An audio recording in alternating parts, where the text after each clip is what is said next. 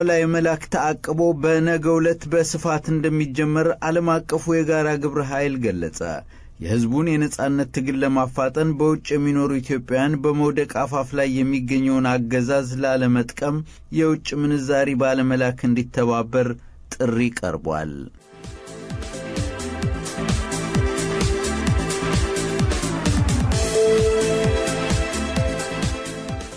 ሕፃናትና ሴቶችን ጨምሮ ስምንት የደቡብ ሱዳን ስደተኞች በኢትዮጵያ የመጠለያ ካምፕ ውስጥ በጋምቤላ መገደላቸው ተሰማ። በአሰቃቂ ሁኔታ የተገደሉት ሰዎች የሙርሌ ጎሳ አባላት ናቸው።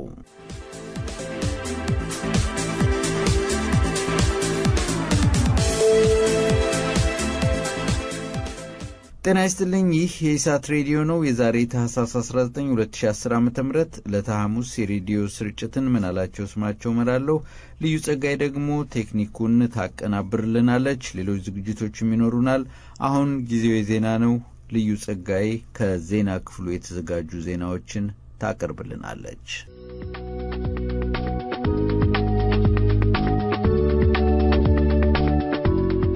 ሰላም ጤና ይስጥልን። ከኢሳት ዋሽንግተን ዲሲ ስቱዲዮ የሰዓቱን ዜናዎች ይዘን ቀርበናል። ከዜናዎቹ ጋር ልዩ ጸጋይ ነኝ።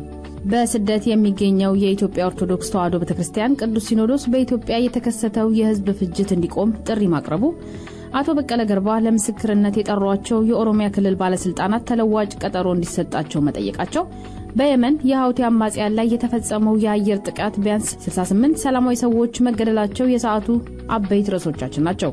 ዝርዝሩ እንደሚከተል ይቀርባል።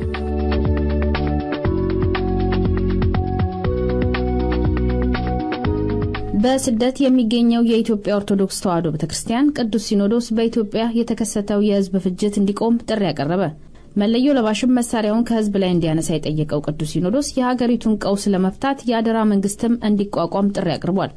ለዝርዝሩ ግርማ ደገፋ።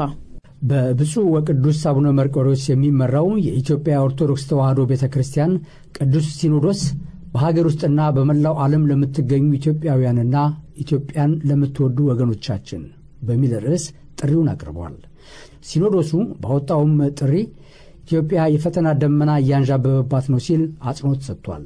በኦሮሞና በኢትዮጵያ ሶማሌ ወገኖቻችን ውስጥ ጥቅመኛ ፖለቲከኞች ያቀጣጠሉት ፍጅት በኢትዮጵያውያን መካከል እንኳን ሊደረግ ሊታሰብ የማይችል እንደነበርም በማስታወስ በሁኔታው በእጅጉ ማዘኑን ሲኖዶሱ ገልጿል። የሀገሪቱ የመከላከያ ሰራዊትና የፖሊስ ኃይል እንዲሁም የደህንነቱ ተቋም የገዛ ዜጎቹን ከማሰቃየት እንዲታቀብም ቅዱስ ሲኖዶሱ በመግለጫው ጠይቋል። ሁሉም የጸጥታ ኃይሎች ከሕዝቡ ጎን እንዲቆሙም ጥሪ አቅርቧል። መለዮ ለባሹ የታጠቀውን የጦር መሳሪያ የሀገሩን ድንበር ለማስጠበቅ ያነገበው መሆኑን ተገንዝቦ አፈሙዙን ከሰላማዊ ሕዝቡ ላይ ዞር እንዲያደርግ አሳስቧል። በኢትዮጵያ ውስጥ የቀጠለውን ችግር ለማስቆምና በሀገሪቱም ዘላቂ መረጋጋት ለማምጣት የአደራ መንግሥት እንዲመሠረት ጥሪ ያቀረበው በስደት የሚገኘው የኢትዮጵያ ኦርቶዶክስ ተዋሕዶ ቤተ ክርስቲያን ቅዱስ ሲኖዶስ መግለጫ ለተቃዋሚ ፓርቲ መሪዎች፣ ለምሁራንና ለሃይማኖት መሪዎችም ጥሪ አቅርቧል። በኢትዮጵያ ውስጥ የቀጠለውን ችግር ለማስቆምና በሀገሪቱም ዘላቂ መረጋጋት ለማምጣት የአደራ መንግሥት እንዲመሠረት ጥሪ ያቀረበው በስደት የሚገኘው የኢትዮጵያ ኦርቶዶክስ ተዋሕዶ ቤተ ክርስቲያን ቅዱስ ሲኖዶስ መግለጫ ለተቃዋሚ ፓርቲ መሪዎች፣ ለምሁራንና ለሃይማኖት መሪዎችም ጥሪ አቅርቧል። በሀገራችን እየተፈጸመ ያለውን አሳዛኝ ሁኔታ በዝምታ ማየት ወይንም ይዋ ሊደር ብሎ በቸልታ ማለፍ ለስልጣን ሲሉ ከሚገድሉትና ከሚያስሩት የህዋት ባለሥልጣናት ያነሰ በደል አይደለም ሲል ድምፃቸውን እንዲያሰሙ ጥሪውን አቅርበዋል። በቅዱስ ሲኖዶሱ ሕዝብ ግንኙነት ኃላፊ በአቡነ ጴጥሮስ ስም የወጣው የቅዱስ ሲኖዶሱ መግለጫ ለትግራይ ሕዝብም ጥሪውን አቅርበዋል። ከመካከላቸው የወጡ ጥቂት ባለሥልጣናት የሚሄዱበት መንገድ መልካም ስላልሆነ ከወገናችሁ ሌላው ኢትዮጵያዊ ጎን ተሰለፉ ሲልም ጠይቋል። መላው የኢትዮጵያ ሕዝብ ይህ ክፉ ቀን እስኪያልፍ እርስ በርስ በመረዳዳትና በመተባበር በጸሎትና በምህላ ሀገሩንና ወገኑን እንዲያስብም ቅዱስ ሲኖዶሱ በእግዚአብሔር ስም ጥሪውን ያቀርባል ሲል በመግለጫው ላይ አስፍሯል። በውጭ የሚገኘው የኢትዮጵያ ኦርቶዶክስ ተዋሕዶ ቤተ ክርስቲያን ቅዱስ ሲኖዶስ በፓትርያርክ ብፁዕ አቡነ መርቆሬዎስ እንደሚመራ ይታወቃል። አቶ በቀለ ገርባ ለምስክርነት የጠሯቸው የኦሮሚያ ክልል ባለስልጣናት ተለዋጭ ቀጠሮ እንዲሰጣቸው ጠየቁ። ጥያቄውን ያቀረቡት በድርጅታቸው ኦህዴድ በኩል መሆኑ ታውቋል። በሚሰጣቸው ተለዋጭ ቀጠሮም በችሎት ቀርበው ምስክርነት እንደሚሰጡም ለፍርድ ቤቱ በጻፉት ደብዳቤ አስታውቀዋል። ዝርዝሩን ሰውነት ተመስገን ያቀርበዋል። ከኦህዴድ ጽህፈት ቤት ለፌዴራሉ ከፍተኛ ፍርድ ቤት አራተኛ ወንጀል ችሎት ታህሳስ 18 2010 በተጻፈው ደብዳቤ እንደተመለከተው አቶ በቀለ ገርባ በምስክርነት የጠሯቸው የክልሉን ፕሬዝዳንት አቶ ለማ መገርሳን ጨምሮ አራት ባለስልጣናት ናቸው። ከአቶ ለማ መገርሳ በተጨማሪ የክልሉ ምክትል ፕሬዝዳንት ዶክተር አብይ አህመድ፣ አፈ ጉባኤ አባዱላ ገመዳ እንዲሁም ወይዘሮ ጫልቱ ሳን የተባሉ የኦሮሚያ ክልል ባለስልጣናት ናቸው። ከኦህዴድ ጽህፈት ቤት ለፌዴራሉ ከፍተኛ ፍርድ ቤት የተጻፈው ደብዳቤ ባለስልጣናቱ በቀጠሯቸው መገኘት ያልቻሉበትንና ተለዋጭ ቀጠሮ የተጠቆሙበትንም ምክንያት አስፍሯል። በአስቸኳይ ሀገራዊ ስብሰባ ምክንያት ቀርበው መመስከር ስለማይችሉ የተከበረው ፍርድ ቤት ችግሩን በመረዳት ተለዋጭ ቀነ ቀጠሮ እንዲመቻችልንና ቀርበው እንዲመሰክሩ እንዲደረግልን የተለመደ የሥራ ትብብራችሁን በአክብሮት እንጠይቃለን የሚለው በደብዳቤው ላይ የሰፈረው ጽሑፍ ነው። ተለዋጭ ቀጠሮ እንዲሰጣቸው በደብዳቤው የጠየቁትን የእነ ለማ መገርሳን ጉዳይ የተመለከተው ፍርድ ቤትም ለታህሳስ 27 2010 ብይን እሰጣለሁ በሚል ቀጠሮ ሰጥቷል። ዛሬ ችሎት ቀርቦ በአቶ በቀለ ገርባ ላይ ምስክርነት ይሰጣሉ ተብለው ሲጠበቁ የነበሩት አቶ ኃይለማርያም ደሳለኝም በተጣበበ ሥራ ምክንያት መገኘት አልቻሉም በሚል በእሳቸው ጉዳይ ላይ ብይን ለመስጠት ለታህሳስ 27 2010 ቀጠሮ ተይዟል። ባለሥልጣናቱ ተለዋጭ ቀጠሮ በጠየቁበት ሁኔታ በእነሱ ጉዳይ ላይ ብይን ለመስጠት ቀጠሮ መያዙ ግን ግልጽ አይደለም ሲሉ የተከሳሾች ጠበቃ መናገራቸውን መረጃው አመልክቷል። በባለሥልጣናቱ የመከላከያ ምስክርነት አቀራረብ ላይ ብይን እሰጣለሁ በሚል ፍርድ ቤቱ ለታህሳስ 27 2010 ቀጠሮ ቢይዝም የተከሳሾቹን ጉዳይ ለማየት ግን ከየካቲት አምስት እስከ የካቲት ዘጠኝ ተከታታይ ቀጠሮ መቀመጡም ታውቋል። ይህ በእንዲህ እንዳለ አቶ በቀለ ገርባ ለምስክርነት የጠሩትና በወህኒ ቤት የሚገኘው አቶ አንዱዓለም አራጌ ወህኒ ቤቱ ለምስክርነት እንደማያቀርበው ለችሎቱ አስታውቋል። የቃሊቲ ወህኒ ቤት ኃላፊዎች አቶ አንዱዓለም አራጌ ከባድ ፍርደኛ ስለሆነ እሱን ለምስክርነት ማቅረብ አንችልም ሲሉ ለፍርድ ቤቱ አስታውቀዋል። ፍርድ ቤቱም ለአቶ አንዱዓለም አራጌ መጥሪያው እንዲደርሳቸው በፖስተኛ ተላከ እንጂ አቅርቡ አላልንም የሚል ምላሽ መስጠቱን ጌታቸው ሽፍራው በማኅበራዊ ገጹ ላይ አስፍሯል። አቶ አንዱዓለም አራጌ የቀድሞ ቅንጅት ማዕከላዊ ኮሚቴ አባል የነበረ ሲሆን በአንድነት ፓርቲ ውስጥ በምክትል ፕሬዝዳንትነት በማገልገል ላይ እያለ ከስድስት ዓመት በፊት መታሰሩ ይታወሳል። የዕድሜ ልክም እስራት ተፈርዶበታል። በኢትዮጵያ አየር መንገድና በማላዊ አየር መንገድ መካከል የተፈጸመውን የንግድ ሽርክና ኢርባና የሌለውና የማይጠቅም ሲሉ የሀገሪቱ መንግስት ባለስልጣናት ስምምነቱን አጣጣሉ። የማላዊ መንግስት ባለስልጣናትና የሀገሪቱ የፓርላማ አባላት ሁለቱ አየር መንገዶች የሽርክና ስምምነትን ከመረመሩ በኋላ ጉዳዩ አዋጭ እንዳልሆነ ደርሰንበታል ብለዋል። ዝርዝሩን ምን አላቸው ስማቸው ያቀርበዋል። የኢትዮጵያ አየር መንገድ ከማላዊ አቻው ጋር ባካሄደው የንግድ ሽርክና ስምምነት 49 በመቶ ድርሻ በመያዝ የትርፍ ተካፋይ ለመሆን ነው። የ51 በመቶ ድርሻ የሚኖረው የማላዊ አየር መንገድም ስምምነቱን ካካሄደ በኋላ በሁለት ዓመታት ውስጥ ካለበት ኪሳራ ወጥቶ ትርፋማ ለመሆን ታልሞ ነበር። ስምምነቱ ከአራት ዓመታት በፊት ከተፈረመ በኋላ ግን የማላዊ አየር መንገድ በአገልግሎቱም ሆነ በትርፋማነቱ መሻሻል እንዳላሳየ የሀገሪቱ የሕዝብና የግል ተቋማት ትብብር ኮሚሽነር ጃሚል ሊፑንጋ ሉሳካ ታይምስ ለተባለው ጋዜጣ ገልጸዋል። የማላዊ አየር መንገድ ከኢትዮጵያ አየር መንገድ ጋር ያካሄደው የሽርክና ስምምነት ትርፋማ ቢሆን ኖሮ 20 በመቶ የሚሆነው ድርሻ ለሕዝብ አክሲዮን ለመሸጥ እቅድ እንደነበረ ዘገባው አመልክቷል። እናም አየር መንገዱ ከኢትዮጵያ አየር መንገድ ጋር ያካሄደውን ስምምነት እንዲያጤንና ውሉን እንዲሰርዝ የሀገሪቱ የፓርላማ አባላት ጠይቀዋል። የኢትዮጵያ አየር መንገድ በጉዳዩ ላይ እስካሁን የሰጠው አስተያየት እንደሌለ ያገኘነው መረጃ ያመለክታል። ህጻናትን ጨምሮ ስምንት የደቡብ ሱዳን ስደተኞች በኢትዮጵያ መጠለያ ካምፕ ጋምቤላ ውስጥ መገደላቸው ተሰማ። ሬዲዮ ታማዙች የተባለ ጣቢያ ከሱዳን እንደዘገበው ሴቶችና ህጻናትን ጨምሮ የሙርሌ ጎሳ አባላት የሆኑ ሱዳናውያን ዲማ የስደተኞች ካምፕ ውስጥ ማንነታቸው ባልታወቀ ታጣቂዎች ተገለዋል። የካምፑ የስራ ኃላፊ አንድሪው ካካ እንዳረጋገጡትም ከትናንት በስቲያ ታህሳስ 17 ሌሊት ላይ በስደተኞች መጠለያ ውስጥ ተኩስ ተከፍቶ ስምንቱ ሰዎች ተገድለዋል። ከስምንቱ የሙርሌ ጎሳ አባላት መካከል አራቱ ህጻናት፣ ሶስቱ ሴቶች፣ አንዱ ደግሞ የ60 ዓመት አዛውንት መሆናቸውን ሬዲዮ ጣቢያው ዘግቧል። ሟቾቹ በደቡብ ሱዳን በተፈጠረ ግጭት ሳቢያ በኢትዮጵያ በስደት ተጠልለው የነበሩ መሆናቸውን የካምፑ ኃላፊ ገልጸዋል። በዚሁ ጥቃት አንድ ሌላ ስደተኛም መቁሰሉ ተነግሯል። የኢትዮጵያ የጸጥታ ኃይሎች ጥቃቱን ከተፈጸመ በኋላ አካባቢው ቢደርሱም የህወሓት ባለስልጣናት ግን ስለ ስደተኞቹ መሞት ማረጋገጫ አልሰጡም። በጋምቤላ በሚገኙ ኢትዮጵያውያን የሙርሌ ጎሳ አባላት ላይ በተመሳሳይ ሁኔታ ከደቡብ ሱዳን የመጡ ታጣቂዎች በመቶ የሚቆጠሩ ህጻናትን በኃይል መውሰዳቸውና ግድያ ሲፈጽሙ እንደነበርም ይታወሳል። ድምፃዊ ቴዎድሮስ ካሳሁን በኤርትራ መዲና አስመራ የሙዚቃ ስራዎቹን ማቅረብ እንደሚፈልግ ገለጸ። ለፈረንሳዩ የዜና ወኪል ኤኤፍፒ ቃለ መጠየቅ የሰጠው ቴዲ አፍሮ በአስመራ የሙዚቃ ኮንሰርት በማቅረብ በሁለቱ ሀገር መካከል ያለውን ግንኙነት ለማሻሻል እንደሚፈልግ አስታውቋል። በሌላ በኩል ለመጪው የኢትዮጵያ ገና በዓል በአዲስ አበባ የሙዚቃ ዝግጅት ለማቅረብ የአገዛዙን ፍቃድ በመጠበቅ ላይ መሆኑንም ኤኤፍፒ በዘገባው አመልክቷል። ለዝርዝሩ መሳይ መኮንን የ41 ዓመቱ ድምፃዊ ቴዎድሮስ ካሳሁን በቅርቡ ያወጣው ኢትዮጵያ የተሰኘው አልበሙ በዓለም አቀፉ የሙዚቃ ሰንጠረዥ ውስጥ በአንደኛ ደረጃ ተቀምጦ እንደነበረ ኤኤፍፒ በዘገባው አስታውሷል። ምንም እንኳን በቢልቦርድ ሰንጠረዥ ቀዳሚ ቦታን ይዞ የነበረ ቢሆንም ሙዚቃዎቹ ግን በአገር ቤት በሚገኙ መንግስታዊ የመገናኛ ብዙኃን እንዳይተላለፉ መታገዳቸውን ኤኤፍፒ ጠቅሷል። ድምፃዊ ቴዎድሮስ እንዳለው ልጆች ሆነን የማስታውሰው ሁላችንም እንደ አንድ ህዝብ ነበረ የምንኖረው። ኢትዮጵያ የምትባል ሀገር ነበር የምናውቀው። አሁን ግን በብሔር ማንነታችን ነው የምንታወቀው። ይህ ደግሞ በጣም አደገኛ እየሆነ መጥቷል። መጪው ጊዜ ያሰጋኛለን ብሏል ቴዲ አፍሮ። ድምፃዊው በኢትዮጵያውያን ዘንድ እጅግ ተወዳጅ እንደሆነም አትቷል። ቴዲ አፍሮ በሙዚቃዎቹ በኢትዮጵያ ሰላምና አንድነት እንዲሰፍን የሚሰብክ መሆኑን የገለጸ ሲሆን ይህንንም እስከ መጨረሻው እንደሚገፋበት በቃለ ምልልሱ ላይ ገልጿል። በብዙዎች ዘንድ የሚታወሱት የቴዲ አፍሮ ሙዚቃዎች በስልጣን ላይ ያለውን አገዛዝ የሚተቹ ተደርገው ነው የሚወሰዱት ያለው ኤኤፍፒ በዚህ ምክንያት በአገዛዙ ባለስልጣናት ዘንድ በበጎ እንዲታይ አላደረገውም ሲል ያክላል። በተለይም በአውሮፓውያኑ 2005 ላይ ያወጣው ጃ ያስተሰርያል የተሰኘው አልበሙ የተቃውሞ መዝሙር ተደርጎ ይወሰዳልም ይላል ዘገባው። በተደጋጋሚ ሊያቀርባቸው የነበሩ የሙዚቃ ዝግጅቶች እንደተሰረዙበት፣ በቅርቡም የአዲስ የሙዚቃ አልበሙ የምርቃት ፕሮግራም በፖሊስ መታገዱን አስታውሷል። ለመጪው የገና በዓልም የሙዚቃ ዝግጅቱን ለማቅረብ የአገዛዙን ባለስልጣናት ፈቃድ በመጠባበቅ ላይ መሆኑን ገልጿል። በሌላ በኩልም ድምፃዊ ቴዎድሮስ ካሳሁን በኤርትራ አስመራ የሙዚቃ ዝግጅቱን ለማቅረብ ፍላጎት እንዳለው ከአዣንስ ፍራንስ ፕሬስ ጋር በነበረው ቆይታ ገልጿል። በአስመራ የሙዚቃ ዝግጅቱን ማቅረብ ቢችል በሁለቱ ሀገራት መካከል ያለውን ግንኙነት ማሻሻል ይቻላል ብሎ እንደሚያምን ድምፃዊው ተናግሯል። የሚያስፈልገን የፍቅር ሰላምና ይቅር ባይነት ነው ያለው ድምፃዊ ቴዎድሮስ ካሳሁን በሙዚቃ ስራዎቹ ይህንን ማስተጋባት እንደሚችል ጠቅሷል።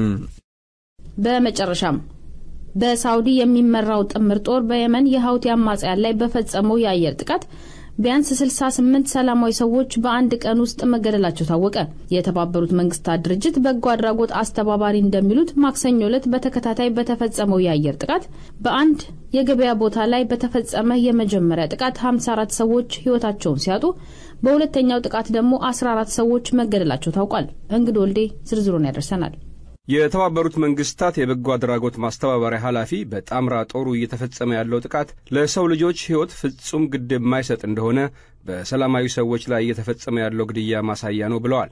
ኃላፊው ጄሚ ማክጎልድሪክ እንዳሉት የመጀመሪያው የአየር ጥቃት በታይዝ ግዛት ሰዎች በሚበዙበት የገበያ ስፍራ የተፈጸመ ሲሆን በዚህም 54 ሰላማዊ ሰዎች ተገድለዋል።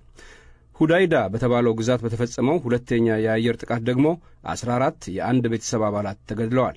በየመን መንግሥት ታማኝ ኃይሎችና በሐውቲ አማጽያን መካከል ባለው ጦርነት በሳውዲ የሚመራው ጥምር ጦር እንደ አውሮፓውያኑ አቆጣጠር በየካቲት 2015 ጣልቃ ከገባ በኋላ ወደ 9 ሺህ የሚሆኑ ንጹሐን ዜጎች ሲያልቁ 50 ሺህ ያህሉ ደግሞ ቁስለኛ ሆነዋል።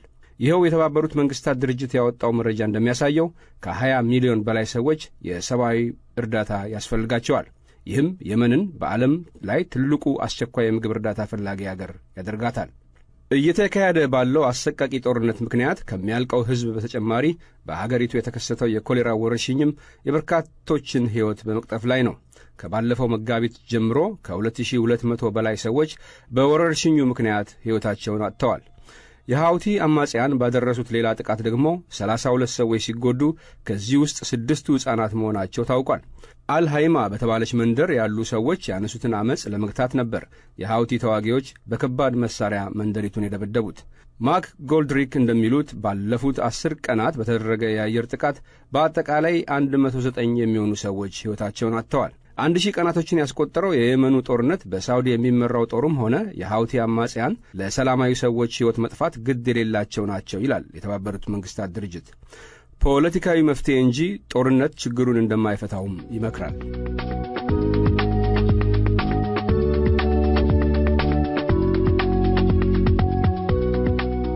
ከኢሳት ዋሽንግተን ዲሲ ስቱዲዮ ለዛሬ ያዝናቸው ዜናዎች የእስካሁኖቹ ነበሩ። ከቀሪ የኢሳት ፕሮግራሞች ጋር መልካም ቆይታ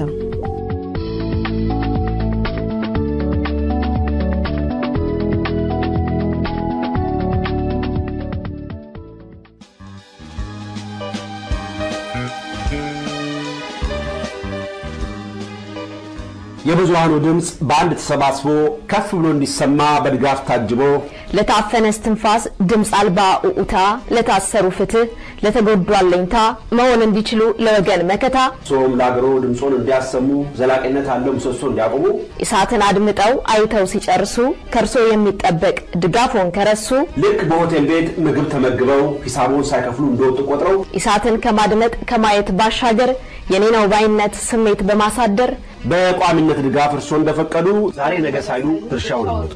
አባልነቱን ፈጥነው ያደርጋሉ።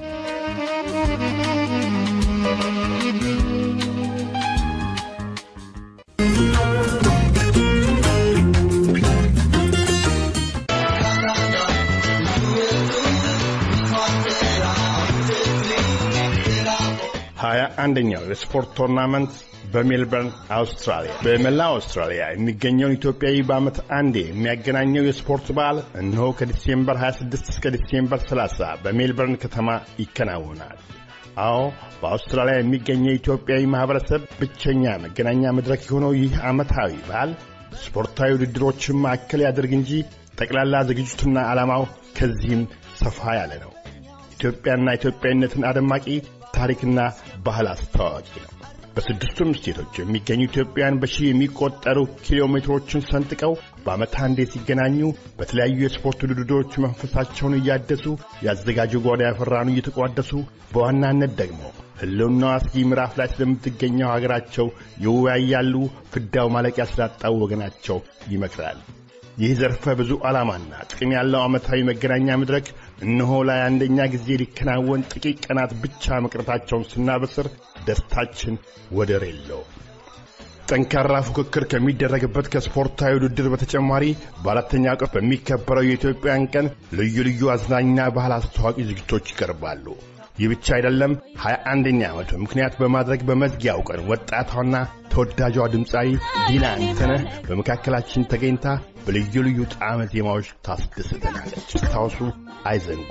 ዓመታዊ የረፍት ጊዜውን ከወገኖ ጋር ስለ ወገኖ እየመከሩ ለማሳለፍ ቀጠሮን በአንደኛው የስፖርት በዓል ላይ ያደርጉ። በዓሉ የቤተሰብ ነውና ለሕፃናትም ልዩ መዝናኛ ተዘጋጅተዋል። ምግብ፣ መጠጡ፣ እረ ምን ቁጡ ብቻ እርሶዩም አዘጋጅ ኮሚቴ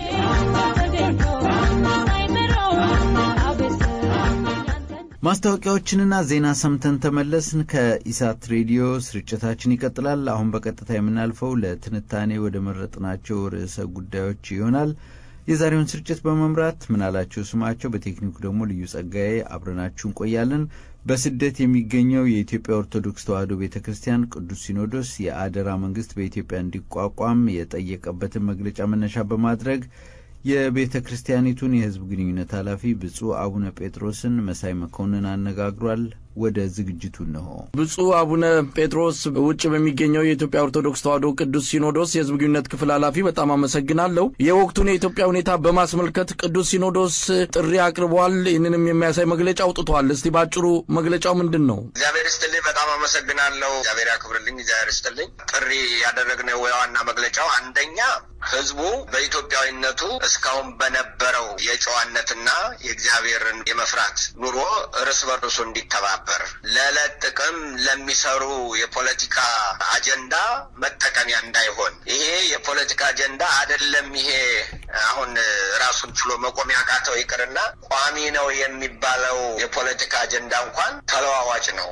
ስለዚህ በሚለዋወጥ የፖለቲካ አጀንዳ የማይለወጠውንና ቋሚ የሆነውን አብሮነት እና መተባበር እንዳይንድ ህዝቡ ከፍተኛ ጥንቃቄ እንዲያደርግ ነው። ሁለተኛው በተቃዋሚ በኩል ያለውን ሊቃውንቱን እና የፖለቲካ ድርጅቶችንም ጭምር በዚህ ጊዜ መደራደር ጊዜው አይደለም የሚል ነው ያለን አመለካከት። የፖለቲካ ድርድር፣ የፖለቲካ ፕሮግራም የከሌ ከኔ ይስማማል፣ የኔ ከከሌ ይስማማል የሚለው ለተረጋጋ ሀገር ነው። የተረጋጋ ሀገር ሲሆን ነው። እኛ አሁን እዚያ በላይ ነው ያለን። እዚያ በቃም የለንም። ራሱ በዓለም ያሉት ጠበብቶችም በዜናም እንደሚሰሩት እንደምናየው እናንተም ብዙ ጊዜ እንደምትናገሩት ራሳቸው በአመራር ያሉት ሰዎች ራሳቸውን እንኳን መሆን አቅቷቸዋል። ስለዚህ አገሪቱ ወደ ባሰ ያለመረጋጋትና እንደውም እንደው እግዚአብሔር ሩቅ ያድርገው እንጂ የመጠፋፋት ደረጃ ላይ ነው ያለችው። በዚህ ጊዜ በተቃራኒ በኩል ያሉ ሰዎች አንድ ሆነው ይችን ሀገር ወደ ማትረፉ ደረጃ እንዲተባበሩና እርቅና ሰላም አድርገው ኃላፊነት እንዲሸከሙ ጥሪ ነው። ሶስተኛው እንደገና በጸሎትና በምህላ ህዝቡ እንዲበረታ ነው። መጽሐፍ ቅዱስም እንደሚል ኢትዮጵያ እጆቿን ወደ እግዚአብሔር ተዘረጋለች እንደሚል ሁልጊዜም እጃችን ወደ አምላካችን ዘርግተን ነው ምሕረት የምናገኘው። ሁሉም ሰው ያውቃል። የጣሊያን ጦርነት በእኛ አቅም አይደለም፣ እግዚአብሔር ረድቷቸው ነው አባቶቻችን ከዚህ የደረስ ነው። እስካሁንም ድረስ እንደ ሀገር የኖር ነው የእግዚአብሔር መለኮታዊ ጥበቃ ስለተደረገ ነው። ይህን የመለኮታዊ ጥበቃ ከአምላካችን በመለመን በትትናና በፍቅር በንስሐ ሆነን ምህላና ጸሎት እንድናደርግና እንድንተባበር እነዚህን ሶስቱን ነው ለማትኮር የሞከር ነው። በመግለጫችሁ ላይ ሌላው የተጠቀሰው ለመለዮ ለባሹም ጥሪ ያደረጋችሁበት ነው። በዚህ አንጻርስ ያስተላለፋችሁት መልእክት ምንድን ነው? አቡነ ጴጥሮስ መለዮ ለባሽ አሁን ስናየው እናንተም በዜና በየቦታውም እንደምናየው በምስልም እንደምናየው መለዮ ለባሽ የራሱን ህዝብ ገዳይ ሆኗል። ስለዚህ አሁን ይሄ መለዮ ለባሽ የራሱን ህዝብ ከመግደል እንዲቆጠብ በዚያ ፈንታ ህዝቡ የጠየቀውን ጥያቄ መልስ እንዲያገኝ ከተቻለም እንኳን ከሰላም ፈላጊዎች ጋር ሆኖ ወደ አደራ መንግስት ሽግግር ማድረግ እንዲረዳ ነው እንጂ አንደኛ እነሱም ራሳቸው መፈንቅለ መንግስት አድርገው እንደገና ሌላ ይህንን መንግስት እንደገና በሌላ ቀይሮ እንደገና ወደ እርስ በርስ መገዳደል አዙሪት እንዳይሄዱ ጥንቃቄ እንዲያደርጉ ነው። አሁን ደግሞ ህዝቡን እንዳይገሉ። ህዝቡን ለምንድን ነው የሚገሉት? ይሄ ነጻ ህዝብ ይሄ ምንም ነገር ያላደረጉ ዩኒቨርሲቲዎች ተዘግተው አስተማሪዎች የማያስተምሩበት የቢሮ ሰራተኞች ስራ የማይሰሩበት ደረጃ ላይ ተደርሶ ይህንን ህዝብ የሚገሉት ለምንድን ነው? እና የራሳችሁን ህዝብ ከመግደል አቁሙ። ይሄ የእናንተ ስራ አይደለም። የእናንተ ስራ እነሱን መጠበቅ እንጂ እነሱን መግደል አይደለም የሚለው ነው። አቡነ ጴጥሮስ እንግዲህ የአደራ መንግስት ይቋቋም ዘንድ ጥሪ አድርጋችኋል። ምን ማለት ነው? የአደራ መንግስት ማለት ከፖለቲካ ነጻ የሆነ ማለት ነው። የፖለቲካ ሽግግር መንግስት ማለት እንደገና ወደ መንግስትነት ነው የሚቀየሩት። አይተናል። ሽግግር መንግስቱ ነው ራሳቸው እንደገና ወደ መንግስትነት ሲቀየሩ አይተናል። እንደውም እንደ ወደ ኋላ ነምጓን ብንል ከንግስት ዘውዲቱ ጀምሮ አሁን እስካለው ወደ አምስት ስርዓቶች ናቸው። እነዚህ በሙሉ ከሽግግር መንግስት ነው ወደ መንግስትነት እየተቀየሩ ራሳቸው እየወደቁ የሄዱት። ይሄ የሚያዋጣ አይደለም። አደራ የሚለው ነገር ከፖለቲካ ነጻ ሆኖ አገርን በማረጋጋት ህገ መንግስት ተረቆ ፖለቲከኞች የራሳቸውን አቋምና ፕሮግራማቸውን ለህዝብ አስቀርበው በህገ መንግስቱ መሰረት በምርጫ በሚሆን መንግስት እንዲካሄድ ነጻ እንዲሰጥ ነው። የሽግግር መንግስት ከሆነ ግን ስልጣኑንም ራሱ ስለሚይዘው ራሱ ተመረጥኩ ብሎም ልክ አሁን ያሉት የህወሓት መንግስት እንዳደረጉት ተመልሰው ወደ መንግስትነት ተቀይረው ያው አምባገነን ነው የሚሆኑት። ስለዚህ አደራ መንግስት የምንለው ከፖለቲካ ነጻ የሆነ በምሁራንና በሀገር ሽማግሌዎች እንዲያም ካለ የውጭ ታዛቢም ሆኖ የተወሰነ ለአንድ አመት ወይም ለአንድ አመት ተኩል ሆኖ ህገ መንግስት ተረቆ በዚህ ህገ መንግስት መሰረት የሚወዳደሩ ፓርቲዎች በሀገሪቱ በነጻ እንዲወዳደሩ ነው የኛ ሀሳብ እና ለዚህ ነው አደራ መንግስት የምንለው ከሽግግር የተለየ ለማለት ነው። አባ ጴጥሮስ የኢትዮጵያ ኦርቶዶክስ ተዋሕዶ ቤተ ክርስቲያን በውጭ የሚገኘው ቅዱስ ሲኖዶስ የህዝብ ግንኙነት መምሪያ ኃላፊ፣ በጣም አመሰግናለሁ። እኔም በጣም አመሰግናለሁ። እግዚአብሔር ያክብርልኝ፣ እግዚአብሔር ይስጥልኝ። በእውነት ለሀገራችንም ለህዝባችንም ሰላም ይስጥልን። ሀገራችን በእውነት ከጥፋት ያድንልን፣ እግዚአብሔር ይስጥልን። እየተከታተላችሁ የምትገኙት ከኢሳት የሚተላለፍላችሁን የሬዲዮ ስርጭት ነው። አሁን ቀደም ሲል በገለጽንላችሁ መሰረት ከመረጥናቸው ሁለት የትንታኔ ርዕሰ ጉዳዮች አንዱ ወደ ሆነው እንሄዳለን። በዓለም አቀፍ ሁኔታ ወደ ኢትዮጵያ የሚላከውን ሐዋላ ማዕቀብ ከማድረግ አንጻር በርካታ ኢትዮጵያውያን እንቅስቃሴ እያደረጉ መሆናቸው ነው የሚነገረው።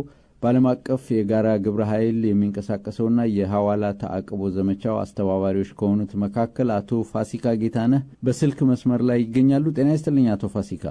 ጤና ይስጥልኝ አቶ ምናላቸው። አመሰግናለሁ። በቅድሚያ በአሁኑ ጊዜ ወደ ኢትዮጵያ የሚሄደውን ሐዋላ ወይም ሬሚታንስ ለመቀነስ ወይም ለማቀብ ሙከራ እያደረጋችሁ እንደሆነና በተለይም ከነገው ዕለት ጊዜ ጀምሮ ከፍተኛ ዘመቻ እንደሚጀመር የገለጻችሁበት ሁኔታ አለ። ይህን ጊዜ ለምን መረጣችሁት? በምን መልኩስ ነው ኢትዮጵያውያን ወደ አገር ቤት የውጭ ምንዛሪ እንዳይልኩ የምታደርጉበት ሁኔታ? እስኪ ከዚህ እንጀምር። አመሰግናለሁ ለድሉ። በድጋሚ የመጀመሪያውን ጥያቄ ለመመለስ ያህል በዚህ ወቅት ለምን ማድረግ ፈለጋችሁ የሚለውን ነገር እሱ ላይ የተወሰነ ነገር ማለት እፈልጋለሁ። ሁለት መሰረታዊ ነገሮችን ማስቀመጥ እፈልጋለሁ። ሁለት ዓመታት የዘለቀው ባይምቢተኝነት በሀገራችን ውስጥ እየተቀጣጠለ እንደሆነ ሁሉም ኢትዮጵያዊ የሚገነዘብ ነው። ህዝቡ ነጻነቱን ለማግኘት የሀገሩ ባለቤት ለመሆን ከፍተኛ መስዋዕትነት እየከፈለ ከፍተኛ ትግል እያደረገ ይገኛል። ይህ ትግል ብዙ መስዋዕትነት ቢያስከፍልም ፍሬ ግን እያፈራ መሆኑን ሁሉም ኢትዮጵያዊ ልብ ይላዋል ብዬ ተስፋ አደርጋለሁኝ። ስርዓቱ በአሁኑ ወቅት ከፍተኛ የሆነ የፖለቲካዊና ኢኮኖሚያዊ ቀውስ ውስጥ እንደገባ ሁላችንም የምንለው ጉዳይ ነው። በተለይ ስርዓቱ ላጋጠመው ከፍተኛ የሆነ የፖለቲካና የኢኮኖሚ ቀውስ የህዝቡ እምቢተኝነት ትልቅ አስተዋጽኦ ይኖረዋል ወይም አለው ብለን እናምናለን። ስለዚህ በመጀመሪያ አንደኛ እዚህ ውጭ ሀገር የምንኖር ኢትዮጵያውያን የዛ ህዝብ አካሎችንን ወገናችን ነው፣ የህዝቡን ትግል ማገዝ ይኖርብለን የሚል ትልቅ እምነት አለን። ስለዚህ አንዱ መነሻችን የህዝቡን ትግል በምንችለው ሁሉ ለማገዝ ያሰብነው ነው። በሁለተኛ ደረጃ ደግሞ ህዝባዊ እምቢተኝነቱ በመቀጣጠሉ የተነሳ ስርዓቱ በተለይም ከፍተኛ የሆነ የኢኮኖሚ ቀውስ ውስጥ ገብቷል። ይሄንን እንደው በመረጃ ያህል ለማስቀመጥ ያህል ከዚህ በፊት ከስርዓቱ ሾልኮ የወጣ የደህንነት ሰነድ እንዳረጋገጠው የስርዓቱ ኢኮኖሚ የተዳከመበት፣ የውጭ ምንዛሬ እጥረቱ ከፍተኛ ደረጃ የደረሰበት ከዚህም አልፎ ተርፎ የስርዓቱ የአፈና ተቋማት ሳይቀሩ እንደነ ቴሌኮሙኒኬሽን ያሉ ብድራቸውን መክፈል ያልቻሉበትና ስራቸውን መስራት ከፍተኛ አዳጋች የሆነበት ደረጃ ላይ ደርሰዋል። ስለዚህ ይሄንን በስርዓቱ ውስጥ የተፈጠረውን ኢኮኖሚያዊ ቀውስ በማባባስ ስርዓቱ የፖለቲካ አቅሙ እንዲዳከም የህዝቡም የትግል ፍሬ እንዲያገኝና ለድል እንዲበቃ ውጭ ያለው ኢትዮጵያዊ የውጭ ምንዛሬ እጥረቱን በማባባስ ረገድ የራሱ ሚና እንዲጫወት በማሰብና ይህንን አጋጣሚ ለመጠቀም ከማሰብ የተነሳ ነው እንግዲህ በዚህ ወቅት ይህንን የጸረ ሐዋላ ዘመቻ ወይም ደግሞ ተአቅቦ ዘመቻ ለማድረግ የተነሳሳ ነው። ይህንን ካልኩኝ በኋላ ወደ ሁለተኛው ጥያቄ ልለፍ። ወደዛ ከመሄዴ በፊት በአሁኑ ጊዜ ወደ አራት ቢሊዮን ዶላር አካባቢ ከኢትዮጵያውያን ወደ ሀገር ቤት የሚገባ የውጭ ምንዛሪ እንዳለ ነው የሚነገረው። ወደ አራት ቢሊዮን ይደርሳል ተብሎ ነው የሚገመተው። ይሄ ሐዋላ ወይም ሬሚታንስ የሚባለው ወደ ኢትዮጵያ የሚላከውና ይሄ ከፍተኛ መጠን ያለው ገንዘብ ነው። ከዚህ በፊትም እንደዚሁ ተመሳሳይ እንቅስቃሴ ስታደርጉ ነበርና በምን ያህል መልኩ ነው ለመቀነስ አሁን ጥረት የምታደርጉት እና በምን መልኩ ነው ይሄንን እንቅስቃሴ የምታደርጉት?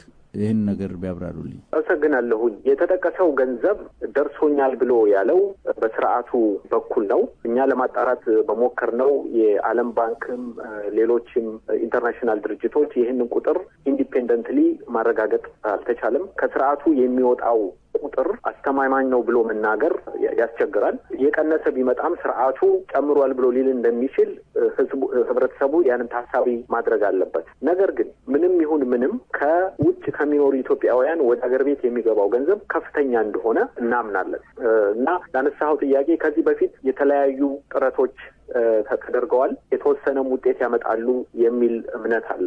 በአሁኑ ደረጃ ደግሞ የሚደረገው ዘመቻ በፊት ከነበረው ሁኔታ በርካታ ነገሮች ስለተቀያየሩ ከፍተኛ ውጤት ያመጣል የሚል እምነት አለን። ይህንንም በምሳሌ ለማስረዳት ሰሞኑ የወጣ አንድ መረጃ አለ። ስርዓቱ በ national bank ውስጥ በሚቀመጥ reserve የመጠባበቂያ ገንዘብ ሶስት ቢሊየን እንደነበረው ለረጅም ጊዜ ይነገር ነበረ። ይሄ ሶስት ቢሊየን የሚባል ገንዘብ መጠባበቂያ ገንዘብ ወርዶ ወደ ሰባት መቶ ሚሊዮን ዶላር የደረሰበትና የአንድ ወር የውጭ ግዢ እንኳ የማይሸፍንበት ሁኔታ ተፈጥሯል። ስለዚህ አሁን በሚደረገው የ remittance ዘመቻ የዘመቻ አስርም percent ሀያም percent ሰላሳም percent እንደ ኢትዮጵያውያን ለትግሉ ለዘመቻው እንዳላቸው ምላሽ የዛን ያህል ገንዘብ ከስርዓቱ መቀነስ ከተቻለ አምስት መቶ ሚሊዮን መቀነስ ከተቻለ or ከዛም በላይ መቀነስ ከተቻለ በስርዓቱ የመጠባበቂያ ቋት ውስጥ ያለውን ገንዘብ በከፍተኛ ደረጃ ስለሚያመናምነው የስርዓቱን የኢኮኖሚ ቀውስ በከፍተኛ ሁኔታ ያባብሰዋል ብለን እናምናለን። ያንንም ለማሳካት ነው ጥረት እያደረግን ያለ ነው።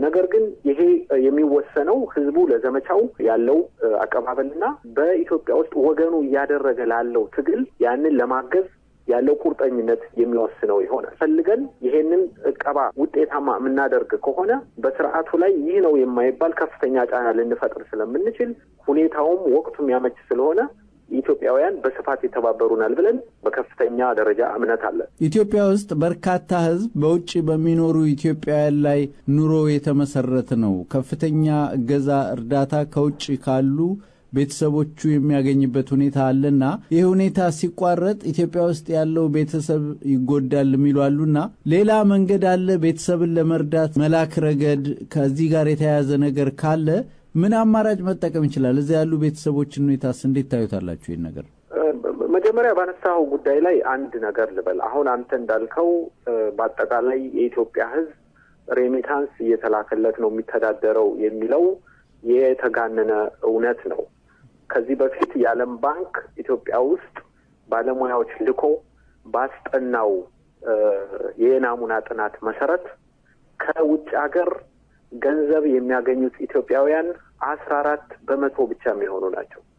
ይሄ በጥናት የተረጋገጠ ነው። ስለዚህ ሁሉም ኢትዮጵያዊ እያንዳንዱ ኢትዮጵያዊ ከውጭ ገንዘብ እየተላከለት ኑሮውን ይመራል የሚለው አባባል ትንሽ ግነት ስላለበት እሱ ላይ ማስተካከያ እንዲደረግ እኔ ጥሬን አቀርባለሁ። ከዛም በተጨማሪ በዚህ ጉዳይ ላይ ሰፊ ወደፊት ለህዝቡ ትንታኔዎች እንደምንሰጥ ምን አይነት ሰዎች ገንዘቡ እንደሚደርሳቸው፣ የኑሮ ደረጃቸው፣ እድሜያቸው እሱ በዳታ ላይ የተቀመጠ ስለሆነ በሰፊው የምንሄድበት ይሆናል። ነገር ግን ያም ሆነ ይህ ኢትዮጵያ ውስጥ ያሉ ቤተሰቦች በከፍተኛ ሁኔታ ማለት ከውጭ ገንዘብ የሚደርሳቸው ሰዎች እንዳሉ ይታወቃል። ይሄም ቅድም እንደተጠቀሰው አራት ቢሊዮን ሊደርስ ይችላል። የተወሰነ ግነትም ቢኖረውም እኛ ይህንን ጥሪ ስናቀርብ የተለያዩ አማራጮችን አስቀምጠናል። የመጀመሪያው አማራጭ በየቦታው በየአካባቢው ስርዓቱ ገንዘብ በማያገኝበት መልኩ ገንዘብ የሚያስተላልፉ ነጋዴዎችና ግለሰቦች ይሄ በየከተማው ብዙ ሰው የሚጠቀምበት መንገድ ነው።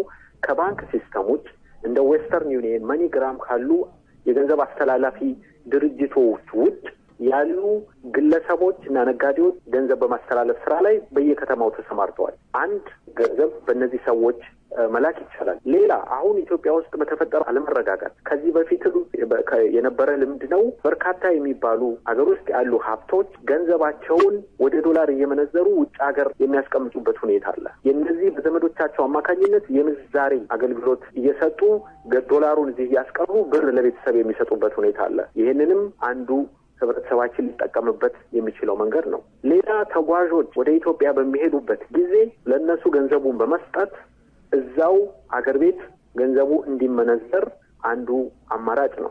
ሌላ ያቀረብነው ቁሳቁሶች በመግዛት ስልኮች ሊሆኑ ይችላሉ፣ የሞባይል ስልኮች ሊሆኑ ይችላሉ፣ or ኮምፒውተሮች ወይም ሌሎች በቀላሉ ሊሄድ የሚችሉ እቃዎች በመግዛት እነዚህ እቃዎች ኢትዮጵያ ገበያ ላይ እንዲሸጡና ገንዘቡን ቤተሰብ እንዲጠቀምበት ማድረግ ይቻላል። ከዚህ በተጨማሪ በየአካባቢው እርስ በርስ በመነጋገር ዋናው ነገር የህዝባችንን ትግል እናግዛለን ከሚል ቁርጠኝነት ከተነሳን መፍትሄ አይጠፋም። ከጎረቤቶቻችን ጋር ከወዳጆቻችን ጋር በመነጋገር አንዱ የአንዱን መንገድ እየተጠቀመ ይሄንን ወደ አገር ቤት የሚገባው ገንዘብ ስርዓቱ ውጭ ስርዓቱ ውጭ እንዳይገባ መንገድ መጠቀም ይችላሉ። ይህን ካልኩኝ በኋላ ግን የምጨምረው ነገር እኛ ከዚህ በፊት ባየነው ጥናት መሰረት ኢትዮጵያ ውስጥ የሚላክላቸው ቤተሰቦች ሁሉ ችግረኞች ናቸው፣ በዛ ላይ hundred percent ይተማመናሉ የሚል እምነት የለንም። ዳታው እንደሚያሳየው ቀላል የማይባሉ እዛ ጥሩ ገቢ ያላቸው ነገር ግን እዚህ ያሉ ኢትዮጵያውያን ወላጆቻቸውን፣ ቤተሰቦቻቸውን፣ ጓደኞቻቸውን ለማሰብ በሚል ገንዘብ የሚልኩበት ሁኔታ አለ። በዛ አይነት በትርፍነት የሚላኩ በርካታ ገንዘቦች ሊኖሩ ስለሚችሉ የህዝቡን ትግል ለማገዝ ሲባል አንደኛ መጠኑን መቀነስ ይቻላል። አንድ መቶ ዶላር የሚልክ ኢትዮጵያዊ እየፈሰሰ ያለውን የወገኖችን ደም ታሳቢ በማድረግ ሰላሳ ዶላሩን ቀንሶ ሰባ ብር ቢልክ ለተወሰኑ ጊዜ ስርዓቱ የሚደርሰውን ሰላሳ ብር ቀነሰበት ማለት ነው። አምስት ጊዜ ስድስት ጊዜ የሚልክ ከሆነ ወደ ሶስት ጊዜና ሁለት ጊዜ ዝቅ ቢያደርገው ስርዓቱ የሚደርሰውን ገንዘብ ቀነሰበት ማለት ነው። ስለዚህ ቤተሰብም ከፍተኛ ጉዳት ላይ ሳይወድቅ ስርዓቱን መታገል ይቻላል። ሌላው አማራጭ ምንድን ነው? በትርፍነት ምንም እዛ ይሄ ከውጭ ያለው ገንዘብ ተላከ አልተላከ ኑሯቸውን ጥሩ አድርገው የሚኖሩ በርካታ ቤተሰቦች አሉ። የዛን አይነት ቤተሰቦች ያሏቸው ኢትዮጵያውያን ለተወሰነ ጊዜ ማቆም ይችላሉ። ምክንያቱም እዚያ ያሉት ሰዎች በትርፍነት ለድጎማ እንጂ በውጭ በሚመጣው ገንዘብ ላይ ተማምነው የሚኖሩ ስላልሆኑ የዛን አይነት የማቆም እርምጃ የህዝቡን ትግል የመከራ ጊዜው እንዲያጥር ብለው የህዝቡን ትግል ለማገዝ ብለው የሚያደርጉት ከሆነ ማቆም ለተወሰነ ጊዜ ይቻላል። የዚህ አይነት ሰዎች ይህንን ነገር ሊያደርጉ ይችላሉ እና አይኖ ጊዜ ወስጃለሁ፣ ግን የመጨረሻው ልናገር። ሌላ ለቤተሰብ ከመላክ ውጭ ለንግድ፣ ለግንባታ በርካታ ገንዘብ ወደ ኢትዮጵያ እንደሚላክ እናውቃለን። እዚህ ላይ አንድ ኢትዮጵያውያኑ እንዲያስቡ የምንፈልገው አሁን ቅድም የጠቀስኩት የደህንነት ሰነድ የሚባለው ነገር ከአገር ቤት ገንዘብ እየሸሸ ነው። የስርዓቱ ሰዎች፣ ሌሎች ባለሀብቶች፣ ነጋዴዎች በተፈጠረው አለመረጋጋት ምክንያት ገንዘብ እያሸሹ ነው የሚል መረጃ በስፋት እየወጣ ነው። ይህ ሁኔታ አገር ውስጥ ባለበት ሁኔታ የደከምንበትን ዶላር፣ ዩሮ ወይም ሌላ የውጭ ከረንሲ ወደ ኢትዮጵያ ገንዘብ መንዝረን ንብረታችንን ወደ ኢትዮጵያ ማስቀመጥ በዚህ ጊዜ ለራሳችንም አስተማማኝ አይደለም። የደከምንበት ገንዘብ የላክነው ገንዘብ አደጋ የማያጋጥምበት ምንም ምክንያት የለም። ህዝባዊ ተቃውሞ ወደ የት እንደሚያመራና የትኛውን ጉዳት ላይ ጥሎ የትኛውን እንደሚያስተርፍ በማይታወቅበት ሁኔታ ንብረታችንን ወደ አገር ቤት መላክ በራሳችን ላይ ጉዳት አለው። ስለዚህ እሱን ልናስብበት ይገባል። ከዛ በተጨማሪ ደግሞ በመልካም ጎኑ ካየነው የህዝቡን የህዝቡን ትግል የህዝቡን ጩኸት ማዳመጥ አለብን። ወገንተኝነታችንን ማሳየት አለብን እና እነዚህ እነዚህ ነገሮች ካደረግን በእኛ እምነት ይሳካል። ይህን ስርዓት የኢኮኖሚ አከርካሪው እንዲሰበር ትልቅ አስተዋጽኦ እናደርጋለን የሚል እምነት ይዘን ነው የተነሳ ነው ለማለት ነው። አመሰግናለሁ። በዓለም አቀፍ የጋራ ግብረ ኃይል የሐዋላ ተአቅቦ ዘመቻ አስተባባሪ አቶ ፋሲካ ጌታነህ በነገው ዕለት የሚጀመረውን የውጭ ምንዛሬ ወደ ኢትዮጵያ ላለመላክ የሚደረግ ሂደት በተመለከተ ለሰጡኝ አስተያየት አመሰግናለሁ። እግዜር ይስጥልኝ። እኔም አመሰግናለሁ አቶ ምናላቸው።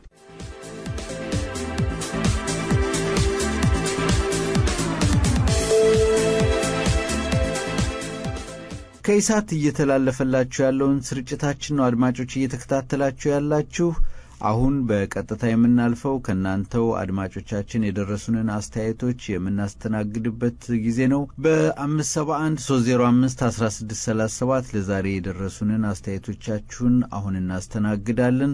ወደፊትም ብትልኩልን በተመሳሳይ ሁኔታ የምናስተናግድ መሆኑን በዚሁ አጋጣሚ እንገልጻለን። የአድማጮች አስተያየት ቀጥሎ ይቀርባል።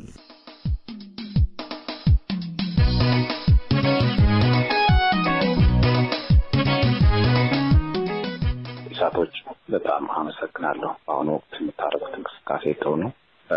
ሰሞኑን በአዲስ አበባ ዩኒቨርሲቲ ትንሽ እንቅስቃሴ እንዳለ ፍንጭ ሰጥታችኋል። አፈናው ግን ከፍ ያለ ነው። አብዛኛው ምሁሩና ተማሪው እንዲንቀሳቀስ ጥሪ ቢደረግለት ጥሩ ነው። በአሁኑ ወቅት አብዛኛው ሰው ልቡ ከኢህአዴግ አይደለም፣ ግን በደህንነት ታስሮ ተወጥሮ ነው ያለው። ይሄ ህዝብ እንዲነሳ ግፊትና ድጋፍ ያስፈልገዋል። የአዲስ አበባ ዩኒቨርሲቲ እንቅስቃሴ ማለት የመላው ሀገሪቱን እንቅስቃሴ ሊያፋጥን የሚችል ትልቅ አካል መሆኑ መታወቅ አለበት። በዛ ላይ መሰራት አለበት እላለሁ። አመሰግናለሁ። መልካም በዓል።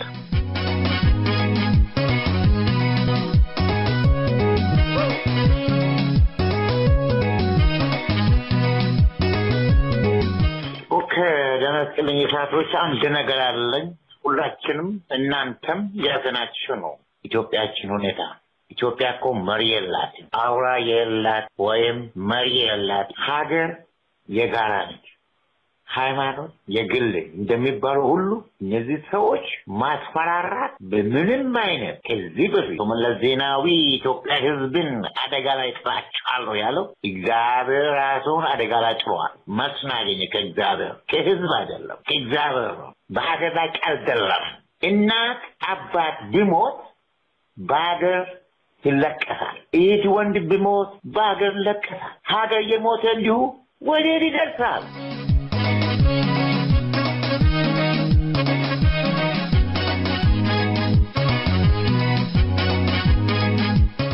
ወጣቶች ሰላም ሰላም ብያለሁ። አንድ ሶስት አስተያየት አለኝ እንደ አንድ ሰው ጉተማውሮ የምናገረው ከአሜሪካ ኖርዝ አሜሪካ ነው። እኔ በጣም የገረመኝ ለማስራት የፈለጉት ድራማ ጅጅጋ ሄዶ ሰዎቹን እየቀረጡ በራሳቸው ቲቪ ይህንና መረጃ ምናምን ብለው ሲያስቀምጡ ሰው ሞኝ አይደለም።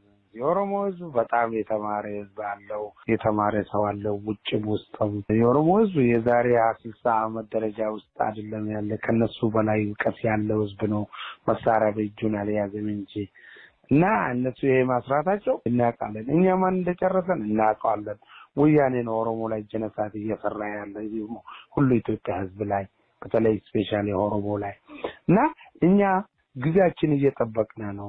ሁሉም ጊዜ ይጠብቀዋል ለማለት የፈለግኩት መሀይም መሆናቸው ነው። እነዚህ ሰዎች የዛሬ መቶ ዓመት ኢምፓየሮች የሚጠቀሙ ሲስቴም አሁኑ አንደኛ ክፍለ ዘመን ውስጥ ሲጠቀሙ እውቀት የላቸው ሞኝ ናቸው። የኦሮሞ ህዝብም ሆኖ የኢትዮጵያ ህዝብ ሁሉ ጣላቸው ያውቃሉ። እንዴት ሊሆኑ ነው የምፈልጉት እኮ የገረመኝ አሁን ይህ እየገደሉ ሊኖሩ አይችሉም። ይህ ህዝብ አንድ ቀን ያገኛል፣ already ይፈርሳቸዋል። እና ስለዚህ እኔ የምለው ያለሁት በጣም ሞኞች ናቸው እና የኦሮሞ ህዝብ ከትንሽ እስከ ትልቅም ማን እንደገደለው ያውቃል። እኛ ከትግራይ የመጡ ሽፍታዎች ህወሓት የሚባሉ TPLF እነሱ ነው የኦሮሞ ህዝብ የጨፈጨፉ ያለው ፎታቸው እነሱ ፎቶ ሲማቸው ሁሉ በየግድግዳ አለ፣ እኛ ጋር አለ፣ እናውቀዋለን። እና የሶማሌ ልጅ ተጠቅሞት ነው ለመሳሪያ ወደ ኦሮሚያ የሚያስገባቸው እና እነሱ ነው የሚጠየቁበት ጊዜ ይመጣል። የኦሮሞ ህዝብ ሀምሳ ሚሊዮን ነው አያልቅም። መርዝም አጠጥተዋል። ሀያ ስድስት ዓመት ኦኤልኤፍ ነው እያሉ እያሰሩ እየገደሉ እየዘረፉ እስከዛሬ ሀያ ስድስት ዓመት አሳልፈዋል። አሁን ግን ጊዜው ደረሰ።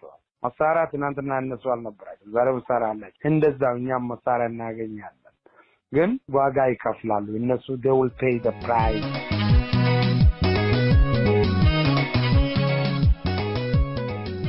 ከኢትዮጵያ ሳተላይት ቴሌቪዥንና ሬዲዮ ኢሳት እየተላለፈላችሁ ያለው የሬዲዮ ስርጭታችን እንደቀጠለ ነው። ኢሳት የህዝብ ዓይንና ጆሮ ነው። ኢሳትን ማገዝ፣ ኢሳትን መደገፍ አይዘንጉ። ኢሳት ለእናንተ አስፈላጊና ወሳኝ መረጃዎችን በጊዜና በፍጥነት በማቅረብ አገልግሎቱን ያፋጥናል። ኢሳት እናንተን ለማገልገል እያደረገ ያለውን ጥረትና ትጋት ይቀጥላል። ስርጭታችን ይቀጥላል። ጤና ይስጥልኝ። ብሩክ ይባስ እባላለሁ።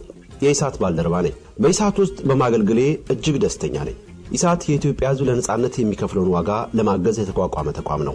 በሰባት ዓመት ጉዞ ኢትዮጵያውያንን መከራና ስቃይ ለዓለም በማሳየትና በማስደመጥ ጉልህ ሚና ተጫውቷል። መከራው የበዛበት ሕዝባችን ከመከራው ይወጣ ዘንድ ኢሳት የበኩሉን እንዲወጣ በመላው ዓለም ያላችሁ ሀገር ወዳጆች ከጀርባችን ነበራችሁ። እናመሰግናለን። አሁን ኢሳት ይበልጥ እየጠነከረ ከትላንትናው አዝጋሚ የነጻነት ጉዞ ወደ ፈጣኑ የነጻነት ጉዞ ተሸጋግሯል። ለዚህ ጉዞ የእናንተን ድጋፍ ይበልጥ የምንፈልግበት ጊዜ ደርሷል። እኔ ከባልደረባነት በተሻገረ ኢሳትን በቋሚነት በወር ለመደገፍ ቃሌን አስፈሬያለሁ። እናንተስ ኢሳትን የምትወዱ የሀገራችን ነጻነት የምትናፍቁ ወደ ድረገጻችን ሄዳችሁ ዶኔት የሚለውን ማስፈንጠሪያ ስትጫኑ የሚመጣውን ቅጽ በመሙላት የነጻነቱን ጉዞ አብራችሁን ተጓዙ። ወይንም በስልክ ቁጥራችን 888 772 37 28 extension አራት ብላችሁ ደውሉልን። መረጃ እናደርሳችኋለን። ኢሳት የሁላችንም ነው።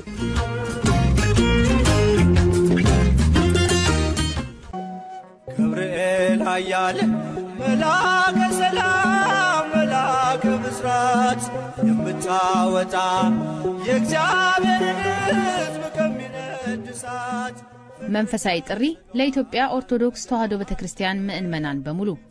የቅዱስ ገብርኤል ዓመታዊ የንግስ በዓል እንደ ኢትዮጵያ ዘመን አቆጣጠር ታህሳስ 22 ቀን እሁድ 2010 ዓ ም ወይም December 31 2017 ብፁዓን ሊቃነ ጳጳሳት ሊቃውንት ቤተ ክርስቲያን የሰንበት ትምህርት ቤት መዘምራንና በርካታ ምዕመናን በሚገኙበት ከሌሊቱ 9 ሰዓት እስከ ቀኑ 7 ሰዓት ድረስ በዓለ ንግስ በማህሌት በጸሎት ቅዳሴና በስርዓተ ንግስ የሚከበር መሆኑን እናስታውቃለን።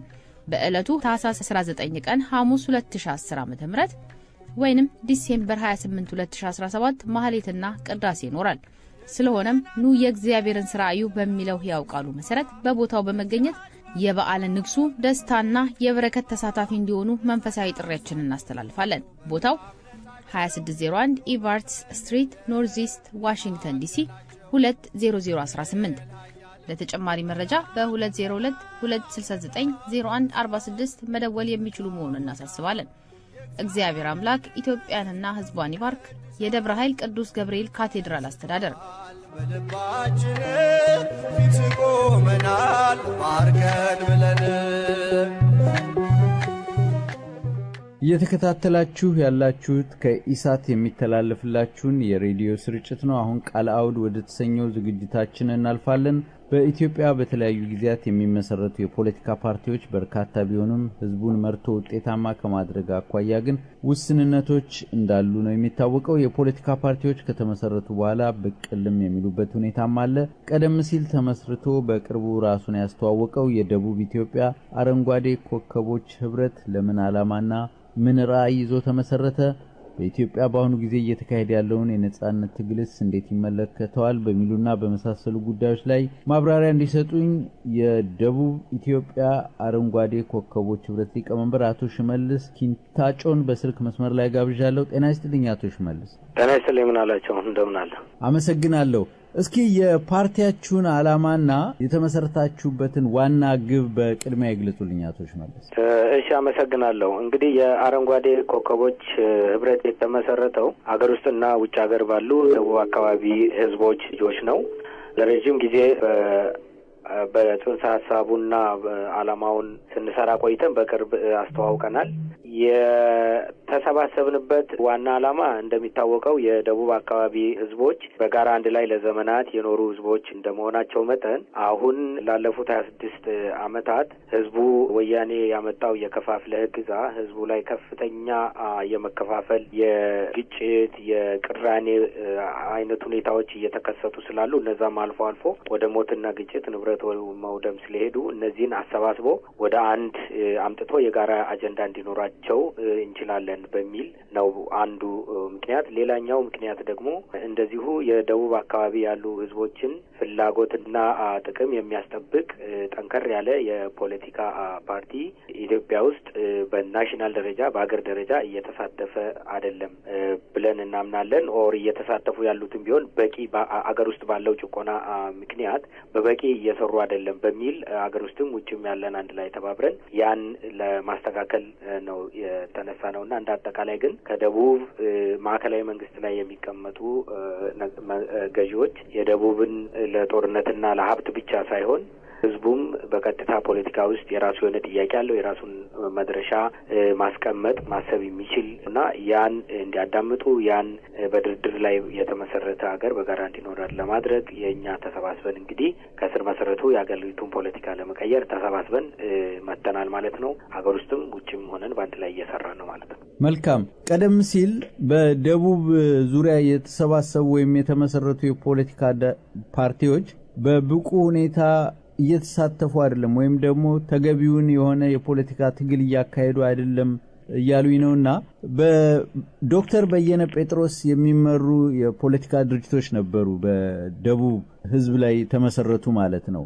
ከዛም ባለፈ የደሂዴንም አለ በአገዛዙ በኩልም ቢሆን የደቡብ ኢትዮጵያ ህዝቦች ዲሞክራሲያዊ ንቅናቄ እነዚህ የፖለቲካ ድርጅቶች ሁኔታ አልተሳተፉም፣ በበቂ ሁኔታ ስራ አልሰሩም ለማለት የሚያስችላችሁ ምክንያት ምንድን ነው? በምን የግምገማ መስፈርት ነው እንደዚህ ለማለት የበቁት አቶ ሽመልስ? እሺ፣ አመሰግናለሁ።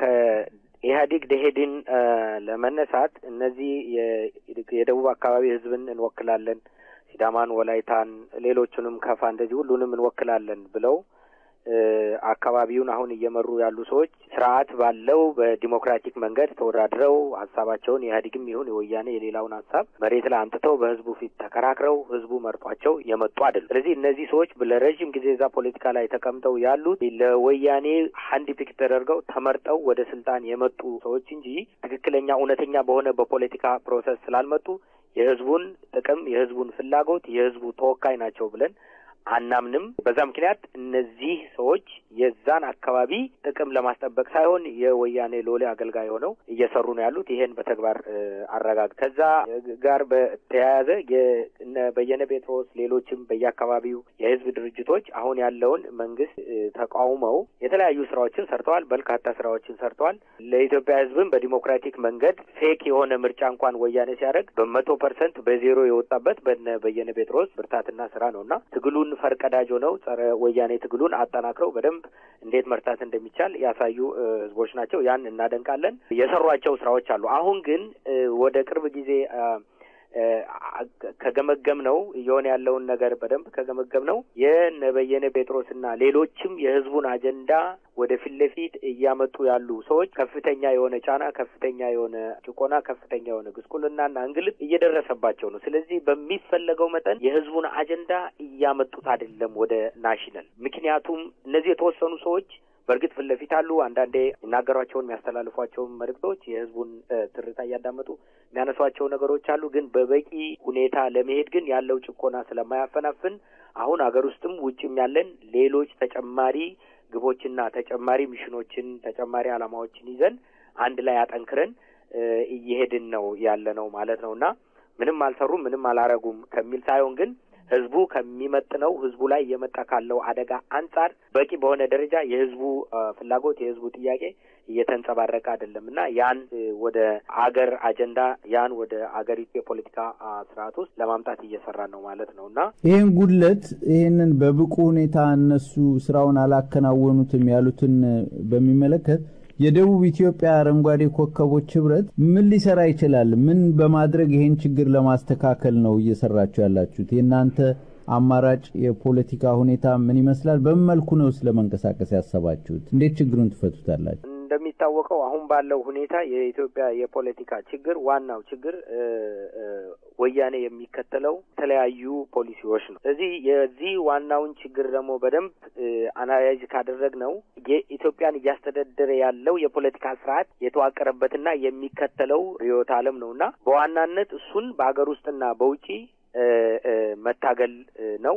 መዋቅሩን እንዲፈርስ ያን የሚመጥን መዋቅር መዘርጋት ነው። ያን መሬት ላይ በህቡም ያን በህቡ ተደራጅተን እየሰራን ያለናቸው ስራዎች አሉ። ከዛ ውጭ በዲፕሎማሲያዊ መንገድ ያለን ሰዎች እንደዚሁ ህዝቡ ላይ የሚደርሰውን ወያኔ እያደረሰ ያለውንም ነገር እንደዚሁ ለሌሎች ዓለም አቀፍ ማህበረሰብና ለሌሎችም ኢትዮጵያውያን አሁን ስርዓቱ ላይ ያሉ የተወሰኑ የደቡብ ልጆች አሉ ውሳኔ ሰጪ የሚመስሉ ግን ምንም የአሻንጉሊትነት ሚና ብቻ ያላቸው ሰዎችን በማየት አካባቢው የአካባቢው ህዝቦች በዛ ውጤት ደስተኛ ሆነው ዝም ያሉበት አይነት ሁኔታ አለ የሚል አይነትም አረዳድ ስላለ ያን በውጪ ክሊር የማድረግ በውጪ ለሌሎች ኢትዮጵያውያን እንደዚሁ የማስተዋወቅ ያን ክሊር የማድረግ ነገር እየሰራን ነው። ከዛ ውጭ ግን በዋናው የምናምነው መሬት ላይ ያሉ ነገሮች ናቸው። መሬት ላይ ያሉትን ነገሮች የማደራጀት ስራና ያን ህዝቡን የማስተባበር የህዝቡን ንቃተ ህሊና ከፍ የማድረግ ደቡብ አካባቢ ያሉ ልጆችን በፖለቲካ ንቃተ ህሊና አቅማቸውን የመገንባት እነዚህ እነዚህ ስራዎችን ነው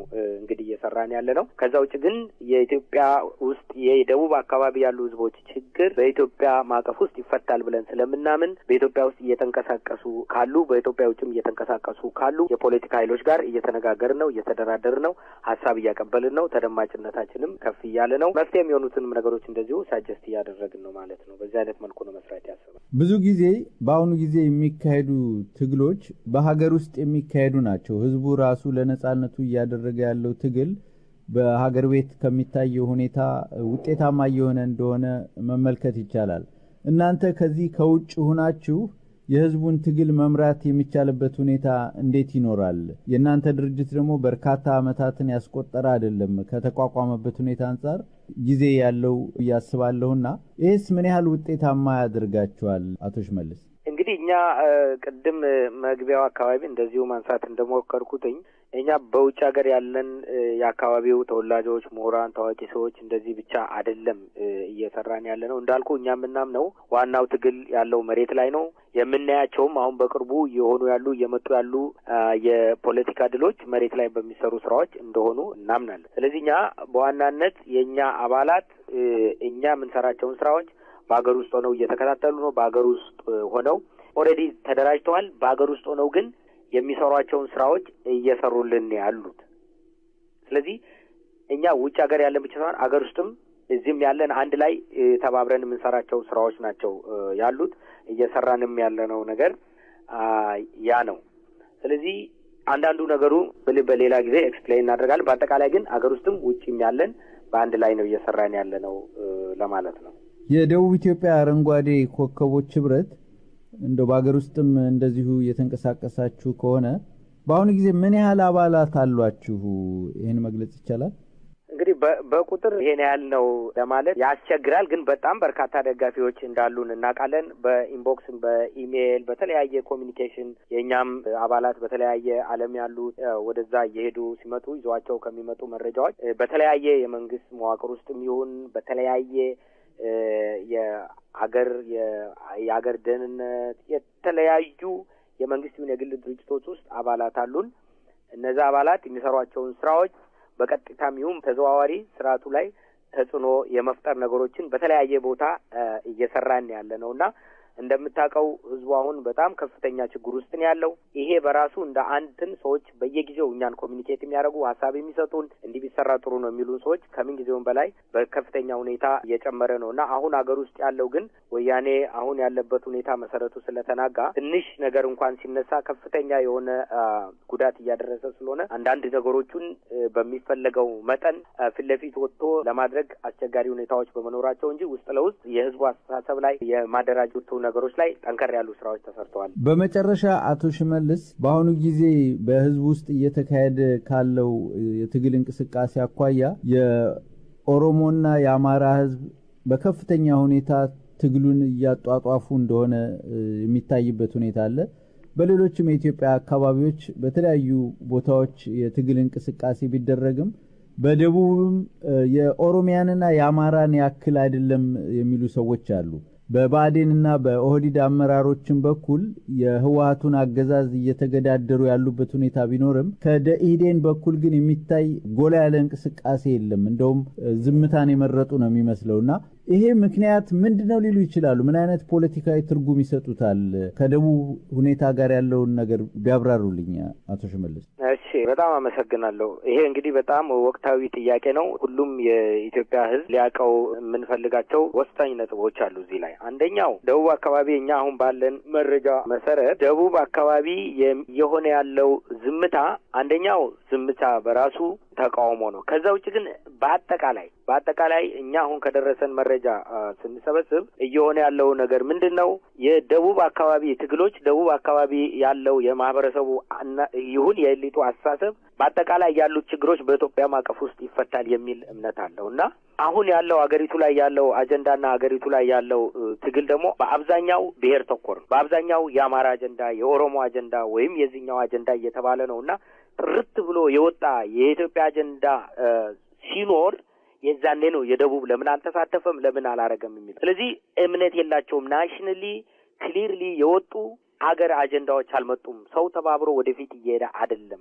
ስለዚህ በዚህ ሁኔታ አንዱ ወደ ኋላ የሚያደርጋቸው ነገር ያ ነው። ከዛ ውጭ ግን ያው ቅድምም እንዳነሳሁት ደቡብ አካባቢ ለበርካታ ዘመናት fake በሆነውም ምርጫ ይሁን ለራሳቸው ለነጻነታቸውን ራሳቸውን መብት ለማስጠበቅ ከሲዳማ ከቅርብ ጊዜ ኮንሶ፣ ወላይታ፣ ጋሞጎፋ አካባቢ የተለያዩ ቦታዎች ከጥንት ጀምሮ ላለፉት ሀያ ስድስት ዓመታት በተበታተነ መልኩ ሲታገል ነው የኖረውና ትግሉን ያውቀዋል። ግን አጠናክሮ ለመሄድ ግን nationally ያን attract የሚያደርግ አጀንዳ draw ማድረግ የእኛ ኃላፊነት ይመስለኛልና እሱንም gap ለመድፈን ነው እኛ እየመጣን ያለ ነው። ከዛ ውጭ ግን አንዱ በደንብ አሁንም ሁሉም ሊረዳ የሚገባው የወያኔ ከፋፍለህ ግዛ ከፍተኛ ጉዳት እያደረሰ ያለው ለየብቻው ያ ህዝብ ተቀጥቅጦ እየሞተ ያለው ሀምሳ ስድስት የተለያዩ ህዝቦች እዛ አካባቢ ስላሉ ሀምሳ ስድስት እና ከዛ በላይ ቦታዎች ተከፋፍለዋል። ለዛም ነው ንብረቶች ሲዘረፉ፣ ለዛም ነው የዓለም መሬቱ፣ ለዛ ነው ያ ሁሉ ህወሀቶች እንደፈለጉ አድርገው ሲዘርፉ ለየብቻው በተለያዩ ጊዜ ያነሳቸው ተቃውሞዎች ስለተቀጠቀጠ በጣም ብዙ መስዋዕትነት ከፍሏል። አሁን ግን ናሽናል አጀንዳ ሲመጣ ምንም ማንጠራጠረው ጋራንቲ የምናደርገው በደንብ ይነሳል። አሁን ያን ለመድፈን እኛም የበኩላችንን እየሰራን ነው። ከዛ ውጭ ግን ብአዴንና ኦህዴድ ያደረጉትን ነገር ዘግይቶም ቢሆን የወያኔን የበላይነት የህወሀትን የበላይነት ለማስቀረት ጥያቄዎችን መጠየቅ ጀምረዋል እና ቅድም እንዳልኩት ደቡብ አካባቢ እዛ ስልጣን ላይ ያሉ ሰዎች በመጀመሪያ ደረጃ ወያኔ ራሱ አንተ አንተ አንተ ብሎ የመረጣቸው ናቸው። power ኡም ጉልበቱም የላቸውም። አይተው ከሆነ የኦሮሚያ አካባቢ ያሉ አመራሮች በተወሰነ ደረጃም ቢሆን በህዝቡ ቅቡልነት አላቸው። ህዝቡ የተወሰነ የማመን tendency እያሳየ ነው። ደቡብ አካባቢ ግን እንደዛ እንኳን እንዳይሆን የተደረገው ነገር ምንድን ነው? አንተ አንተ አንተ ና ተብሎ የተቀመጡ ናቸው። ለዛ ነው እነዚህን ሰዎች ለረዥም ጊዜ እዛ ስልጣን ላይ የምታያቸው። ስለዚህ ምንም ሊያደርጉ አይችሉም። ለዛ ነው ከህወሀት ጀርባ ላይ ህወሀት እነሱ ጀርባ ላይ ቁጭ ብሎ የሀገሪቱን አጀንዳ እያስፈጸመ ያለው እና አንዱም ይሄን የአሻንጉሊት ፖለቲካ ለማስቆምም ነው የኛ አላማ የመጣ ያለው እና በአጠቃላይ ግን ናሽናል የሀገር አጀንዳ ሰብስበን አስቀምጠን ትግሉን ወደ አንድ ኢህአዴግ የሚባለውን የአንድ ፓርቲ የሚመጥን አይነት ፖለቲካ group ወይም የፖለቲካ መዋቅር ስንዘረጋና ስናደራጅ የዛ ጊዜ automatically ደቡብ ፓርቶስ ደቡብ ሁሌም አገር በሆነ አጀንዳ ላይ interested ነው። አገር በሆነ አጀንዳ ላይ ይሳተፋል ለማለት ፈልጌ ነው። እኛም የመጣ ነው አንዱ ያን gap ለመሸፈን ነው። ጥያቄዎችን አግኝቼ ከሆነ በሙሉ የደቡብ ኢትዮጵያ አረንጓዴ ኮከቦች ህብረት ሊቀመንበር አቶ ሽመልስ ኪንታጮ ለሰጡኝ ማብራሪያ አመሰግናለሁ። እግዜር ይስጥልኝ። እኔም ከልብ አመሰግናለሁ። እግዚአብሔር ይስጥልኝ። ከኢትዮጵያ ሳተላይት ቴሌቪዥንና ሬዲዮ ኢሳት የተለያዩ ዝግጅቶችን ስናስደምጥ ቆይተን እነሆ ፕሮግራማችን አጠናቀናል። በሌላ ዝግጅት እስከምንገናኝ ድረስ የዛሬውን ስርጭት በመምራት ምናላቸው ስማቸው፣ በቴክኒኩ ደግሞ ልዩ ጸጋ አብረናችሁ ቆይተናል። ኢትዮጵያ በክብር ለዘላለም ትኑር። በደህና